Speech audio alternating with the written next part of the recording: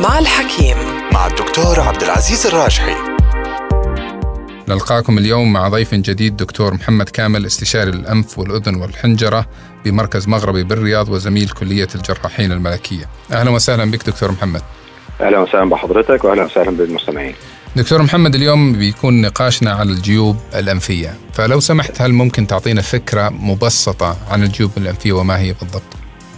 الجيوب الانفيه هي تجاويف هوائية موجودة في الجمجمة مبطنة بنفس الغشاء المخاطي المبطن للانف وهي عدد من الجيوب الأنفية. عندنا الجيوب الأنفية الجبهية دول اثنين الجيوب الأنفية الوجهية ودول اثنين الجيوب الأنفية المصفوية ودي عدة جيوب أنفية في كل ناحية من نواحي الأنف والجيوب الأنفية الوتديه في قاع الجمجمة دول اثنين والوظيفة للجيوب الأنفية إنها بتعطي آه، خفة لوزن الجمجمة ورنين للصوت. إذا لها دور في صوت الإنسان. آه ليها دور في رنين الصوت طبقة الصوت نفسه. جميل. هل طبقة الصوت ممكن تتأثر تتغير مع التهابات الجيوب الأنفية؟ زي ما حضرتك عارف إنه في حاجة اسمها الصوت الأنفي. لما بيكون في التهاب في الأنف والجيوب الأنفية وصاحب له انسداد في الأنف بيبقى الصوت آه، غير واضح أو يطلق عليه صوت أنفي ولا نستطيع التمييز بين الحروف الثلاثة الباء والنون والميم. جميل. الجيوب الأنفية دكتور اللي ذكرتها الآن هل هي عبارة عن فراغات في الجمجمة عبارة عن عظم أو هل هي مبطنة بأغشية أخرى؟ هي فراغات في عظم الجمجمة مبطن بالغشاء المخاطي للأنف هل يتأثر بأي أمراض معينة؟ هل ممكن تصيبه التهابات؟ آه، آه، أسباب التهابات الجيوب الأنفية هي متعددة بعض أسباب التهابات الجيوب الأنفية بيبقى ناتجه عن الحساسية بعضها ناتج عن الالتهابات الميكروبية وبعضها ناتج عن سوء استخدام الأدوية. طيب هل نقدر نفرق دكتور بين الأسباب الحساسية والالتهابات الميكروبية مثلا؟ طيب الحساسية هو مرض مزمن ساعات بيجي في نوبات حادة وساعات بيبقى آه، آه، شكوى مستمرة. ده بيبقى ناتج عن تهيج الغشاء المخاطي للأنف والجيوب الأنفية بحاجة معينة وده مرض وراثي. وبيختلف آه، آه، طبيعته أو تشخيصه آه، هل هو مرض موسمي أو متقطع أو مرض مستمر حسب كمية الأعراض الموجودة فيها. وأعراضه بتبقى هي العطاس السيلان الحكة الانسداد بدون ارتفاع في درجة الحرارة. وحسب مدة الأعراض بنقدر نحدد ده حاجة موسمية أو متقطعة أو حاجة طوال العام. في حالات الالتهابات الجيوب الأنفية الناتجة عن الحساسية. هل يصاحبها خروج إفرازات من الأنف؟ وإذا خرجت هل تكون لها ألوان معينة ولا زيها زي الالتهابات الميكروبية؟ لا الالتهابات الجيوب الانفيه عادة بيبقى المخاط لونه ابيض في العادة. إنما في بعض أنواع من التهابات الجيوب الانفيه الناتجه عن الحساسية بيبقى المخاط ملون شوية ناتج عن تكسر نوع من أنواع الكرات الدم البيضاء. إنما عادة الالتهابات الميكروبية بيبقى مصاحب له حرارة إلى الالتهابات المزمنة. إذا الفرق بينها وبين الحساسية المزمنة أنه الحساسية المزمنة معروفة عند الشخص ومتعود عليها الالتهابات الميكروبية ممكن يجي معاها ارتفاع في درجة الحرارة وتغير في لون المخاط آه سليم. إحنا عندنا نوعين من الالتهابات الميكروبية. آه نوع حاد ونوع مزمن. والحاد بيبقى يا إما التهاب فيروسي يا إما التهاب بكتيري. تمام؟ والالتهاب المزمن بيبقى الأعراض تستمر أكثر من 12 أسبوع بدون ارتفاع درجة الحراره طيب لو ركزنا على الالتهاب الجيوب الأنفية بسبب الحساسية دكتور محمد هل فيه فحوصات معينة للدم مثلا نسمع عنها أحيانا أو للجلد ممكن تحدد لي أسباب الحساسية؟ آه طبعا في نوعين من الاختبارات بيساووا لمعرفة سبب الحساسية. إيه؟ في اختبار بيتعمل على الجلد بياخدوا حوالي 14 مادة من الحاجات الأكثر شيوعا لتهيج الأغشية المخاطية للأنف وبيختبروها على الجلد ويشوفوا بعد ربع ساعة نتيجة الاختبار ويحددوا إذا كان الشخص عنده حساسية لهذه المواد ولا لأ.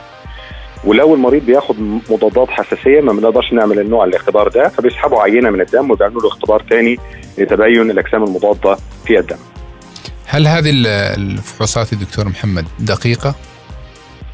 يعني هي لأكثر أسباب شيوعا يعني هم ما يقدروش يعملوا آه، آه، اختبار حساسية آه، خاص بكل شخص هو بيعملوا دلوقتي إن هو أكثر أسباب شيوعا في منطقة معينة بيعرفوا إيه أكثر حاجات تهيج الانف وبيعملوا اختبار عام وليس خاص إذا هم ما يأخذون عينة من ال- الدم مثلا ونتيجة العينة تطلع الحساسية من كذا وكذا وكذا ولكن يستخدمون مواد معينة مأخوذة من الأشياء اللي تسبب الحساسية المعروفة ويختبرونها على الجلد أو على الدم ويشوفون إذا كان هذه آه، بالضبط تنطبق. عليه بالظبط كده طيب إذا عرفنا أسباب الحساسية هل في لها علاجات تمنع الحساسية نهائيا أو معظم العلاجات فقط تتحكم في شدة الأعراض؟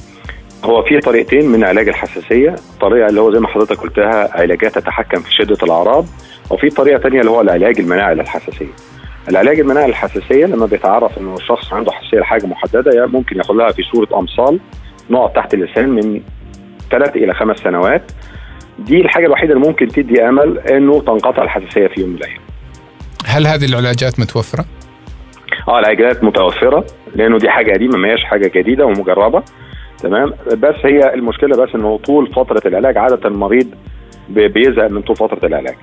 لأنه يحتاج زي ما تفضلت إلى تقريبا خمس سنوات أحيانا. آه من ثلاث إلى خمس سنوات وما ينفعش يوقف في النص، ما ينفعش ياخد أول ست شهور ويقول أنا كده اكتفيت. لأنه هيجد العلاج غير آه غير جيد وغير فعال. لكن هل العلاج يكون لو الشخص التزم للمدة المطلوبة هل العلاج يكون فعلا فعال بإنهاء الحساسية؟ ما نقدرش نقول إن هو ناجح بنسبة 100% بس هو نسبة نجاحه عالية. جميل وفي حالات الحساسية اللي إحنا نبي نتحكم في الأعراض ما هي أيوة. الخيارات المتوفرة؟ والله في هذه الحالة إحنا بنفصل العلاج على حسب الشكوى بمعنى إنه لو المريض عنده حساسية موسمية بياخد العلاج فترة محددة تمام لو المريض عنده حساسية طوال العام ياخد علاج طوال العام علاجات الحساسية الميزة فيها إنها أغلبها موضوعية ما لهاش أعراض جانبية على المدى الطويل من الاستخدام نسمع كثير إنه أدوية الحساسية على الأقل سابقا كانت تسبب دوخة ويمنع الشخص انه يسوق سيارة إلى آخر الأمور هذه، هل هذا الآن موجود في الأدوية الحديثة؟ آه لا في الأدوية الحديثة لا. ده حضرتك بتتكلم على إنه زمان كان بيستخدم اللي هو آه آه مضادات الهستامين من المجموعة الأولى. دي كانت عادة بتسبب آه نعاس وبتسبب قلة تركيز ودي اللي كان الشخص يمنع من آه القيادة لو هو بيستخدمها. إنما مضادات الهستامين الجديدة كلها لا تؤثر على التركيز وحتى واخدة يعني موافقة من هيئة الطيران لأنه الطيارين يقدروا يستخدموها ويسافروا بها عادي جدا ما فيش مشكلة.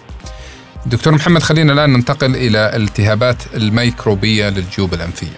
ما هي مسبباتها؟ الالتهابات الميكروبية للجيوب الأنفية زي ما قلنا بتبقى التهابات فيروسيه والتهابات بكتيريه. عادة بتبتدي الالتهابات الحادة كالتهابات فيروسيه والالتهابات الفيروسية دي زي دور البرد العادي جدا اللي إحنا بيجي لنا كلنا. ده بيبقى معاه التهاب حاد في الجيوب الأنفية بس عادة لا يستمر أكثر من أسبوع. ولما بيزيد الأعراض بعد أسبوع أو بتطول أكثر من أسبوع بنبتدي نشك إنه قد يكون في بكتيريا دخلت على الفيروسات وأدت إلى التهاب بكتيري للجيوب الأنفية. وعادة الالتهابات الحادة للجيوب الأنفية الأعراض كلها بتختفي خلال فترة أربع أسابيع.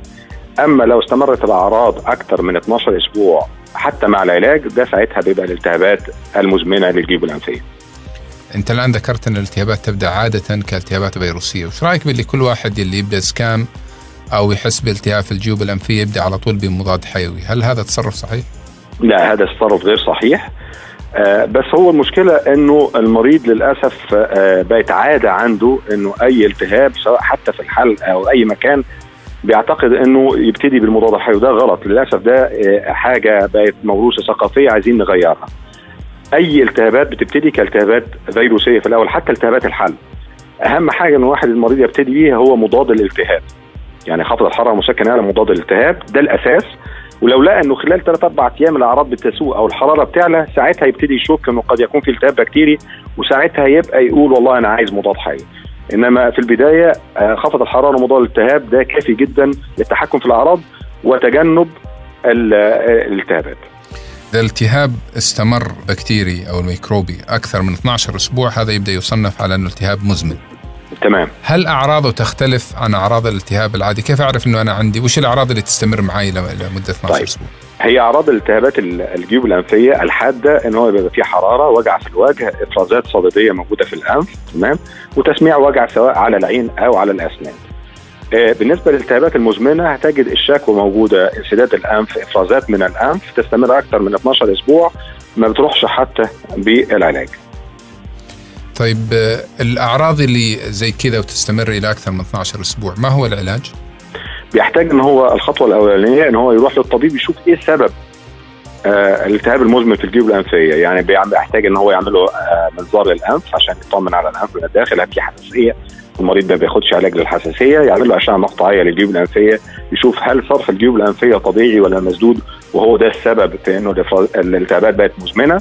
وفي ضوء تشخيص سبب الالتهاب المزمن يقدر يحدد العلاج. لو كان حساسية هياخد علاجات لو كان في عنده حاجات تؤدي إلى سوء التصريف هيحتاج عملية لتحسين تصريف وتهوية الجيوب الأنفية. نسمع أحيانا دكتور محمد عن تنظيف الجيوب الأنفية أو غسيل الجيوب الأنفية، هل هذا يتم عمله الآن؟ أول حاجة إنه زمان كان بيطلق حاجة اسمها بذل الجيوب الأنفية اللي هو بيتقال عليه غسيل الجيوب الأنفية. ده حاجة بقت obsolete يعني حاجة ممنوعة على مستوى العالم. تمام؟ بعد عمليات الجيوب الأنفية كان شائع في فترة محددة إن هو بيستخدموا غسول للجيوب الأنفية. كان في جهاز بتحط فيه شوية محاليل كده ومضادات حيوية وبيتعمل بيه غسول للجيوب الأنفية. وثبت إن هو ده بيكون ميكروبات فبطلوه. فأنسب حاجة لغسول الجيوب الأنفية اللي هو الغسول مية البحر. وهذا كيف يستخدم؟ ده بيستخدم حضرتك إن هو كمرطب للأنف. يعني زي زي بالظبط قريب من فكرة الاستنشاق والاستنثار أثناء الوضوء. بس هو بيبقى محلول مية ملح بيستنشق المية للداخل وبعد كده بينفرها من داخل الأنف. من خلال الأنف كله؟ من خلال الأنف آه. طيب الأشخاص اللي يقومون الصباح في ناس مثلا يقول أنا ما غير مدخن ورغم ذلك كل يوم الصباح أقوم وألاقي زي الإفرازات في مؤخرة الأنف أو الحلق. أيوة. هل هذه من الجيوب الأنفية؟ شوف حضرتك الإفرازات الأنفية الخلفية سببها حاجتين. سببها التهابات الجيوب الأنفية بأنواعها سواء الحساسية أو الالتهابات الميكروبية أو في بعض الأحيان بيبقى ناتج عن انسداد الأنف إن هو بيفتح فمه وهو نايم حتى بدون التهابات بس بسبب احتقان بسبب تضخم لحميات الأنف. وده يؤدي إلى جفاف الحلق لأنه المفروض إن الهواء بيعدي على الأنف بياخد رطوبة ودفء من الأنف. فلو الأنف مسدوده بيفتح فمه وبياخد النفس من الفم فالهواء هو داخل بياخد رطوبة من الفم فيؤدي إلى جفاف اللعاب. وده اللي بيحس بيه. والحاجة الأخيرة إنه في بعض الأحيان ارتداد المعدي المريء يؤدي إلى احساس بأنه في بلغم في مؤخرة الفم أو سقف الحلق. آه الارتداد المريء هذه آه يعني نقطة جدا مهمة ويبدو أنه مؤخرا منتشرة لدى أفراد كثيرين في المجتمع. صحيح. ممكن صحيح. تشرح لنا شوي عن عن الموضوع هذا لو سمحت؟ آه الارتداد المعدي المريئي ده من أكثر الحاجات شيوعا زي ما حضرتك قلت وسبقت لأنه آه الضغوط العصبية بقت زيادة شوية طريقة أكلنا ما بقتش زي الأول بقى كل الحاجة بسرعة ما فيش مضغ كفاية. أكلنا بقى كله أو أغلب الناس بتاكل حاجات كلها من الأسواق ما نعرفش مطبوخة إزاي كمية البهارات اللي فيها.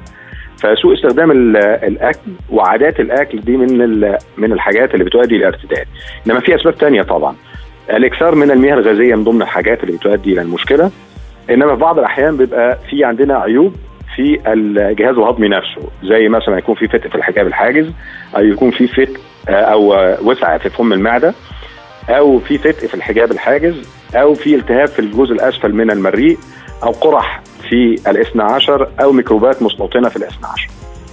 وهذه كلها تسبب زيادة الإفرازات وخروجها على المريء ومن المريء على سقف الحلق. على الحنجرة والبلعوم وتؤدي إلى المشكلة دي. إذا في الحالة هذه العلاج بالمضادات الحيوية وعلاج التهاب الجيوب الأنفية لن يعالج المشكلة لأنه حيستمر الحمض يخرج من المعدة ويسبب لها التهابات متكررة. آه الافرازات الأنفية الخلفيه الناتجة عن ارتداد سوائل المعدة دي علاجها الأساسي الالتزام بتعليمات الأكل ومحاذير الأكل وعلاجات للمعدة أساسية. إذا هذا يودينا يمكن إلى نصيحة مهمة جدا لجميع مستمعينا أنه إذا كان عندك إفرازات من الأنفية خلفية يومية في الصباح أو تغيرات مستمرة في الصوت أو آلام متكررة أو نحنحه بصوره مستمرة. أو نحنحه بصوره مستمرة لابد من زيارة طبيب الأنف والأذن والحنجرة للأخذ بعين الاعتبار انه احتمال يكون عندك مشكلة أصلا في في الجهاز الهضمي. تمام. دكتور محمد شكرا جزيلا معلومات وافية جدا. نشكرك على حضورك معنا اليوم. دكتور محمد كامل هو استشاري الأنف والأذن والحنجرة بمركز مغربي بالرياض وزميل كلية الجراحين الملكية. شكرا لحضرتك والمستمعين